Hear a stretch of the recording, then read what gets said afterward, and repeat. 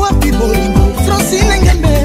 wapi bolingo ww congo masolo avec congo dialogue congo kosolola makambo makambo makambo ya danger di congo dialogue.com yaya motema mpasi ye nasali likambo yaya soki batie poison soki basali nini soki toyeba nzela nyonso esuki na mai bazomela masanga na, na bakamarade na ye yaya nzeta baoba ekwe bazangi na feti lobi na ntongo mpo akende mosala moto alaki ya ndako abima te nde bato bazalaki na kati nzeta baoba ekwei nzeta baoba ekwei avec congo dialogue congo kosolola makambo makambo makambo ya danger edi congo dialogue com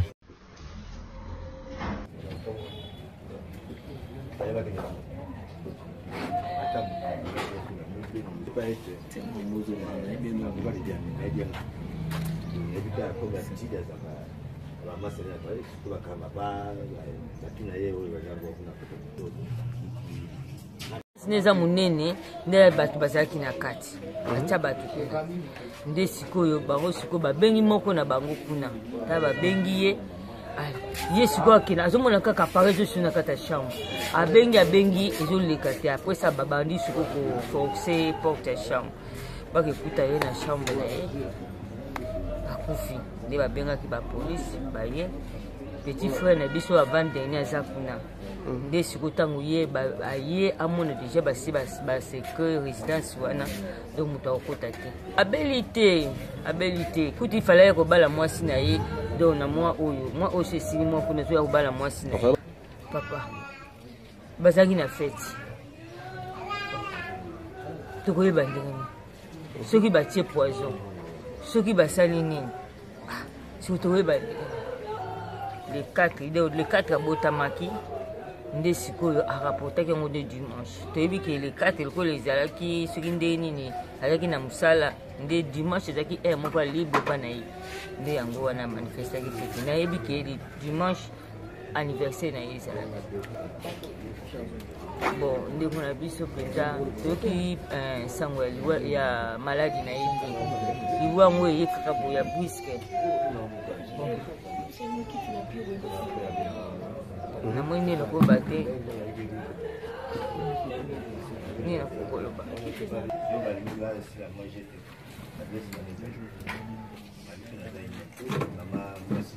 nazali le ne de la famille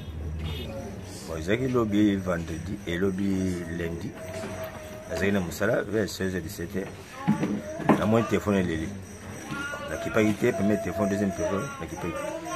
ape nakiti nayoki ke nayambi sikoyo telefone abinoke noko abiza aza mobali ngabi naza mobali naza mwasi na mobali ono likambo ezala yango omokomanda yango abi loba ote nabenga ye rigo rigo abenga rigo abinanga niko na ndako ya ya na ye eh, akuti basoda na riba moko ya, ya, ya rouge nde batiaka na poto wana donc moto akota te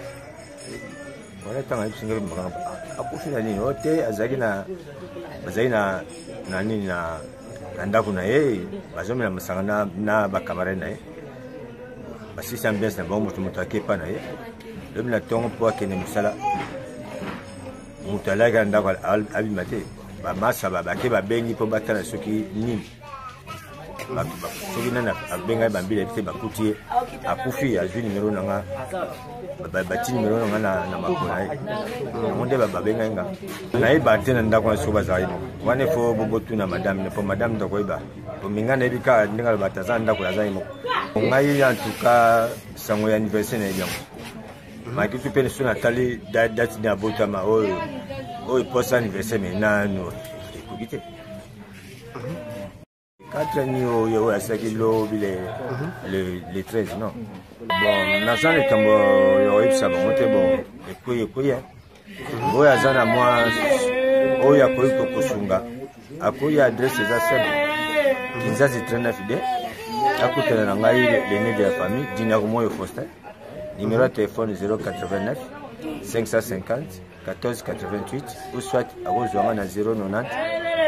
68 77 204 mpo na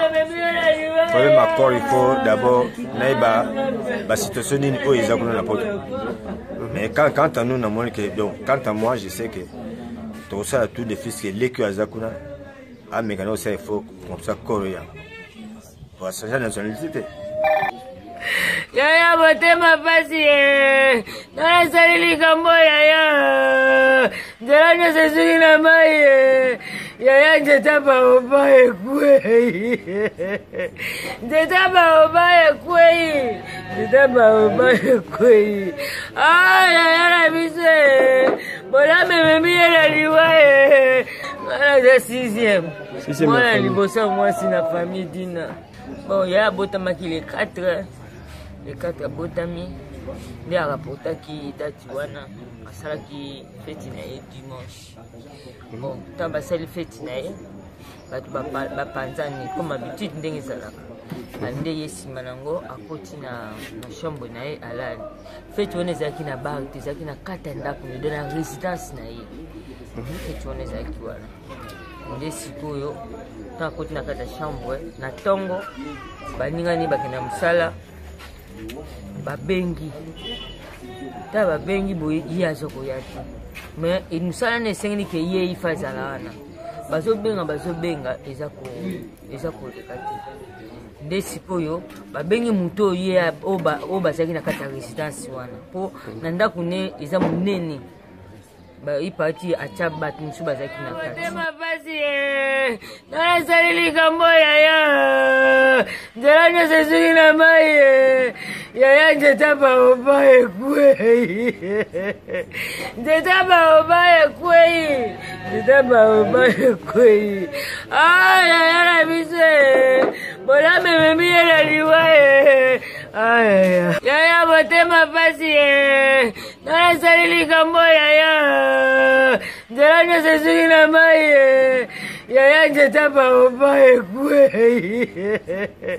nzeta baoba ekwei nzeta baoba ekwei a ah, yaya na biso e bolame ememi ye na liwa e ah, yaya motema mpasi e nasali likambo yaya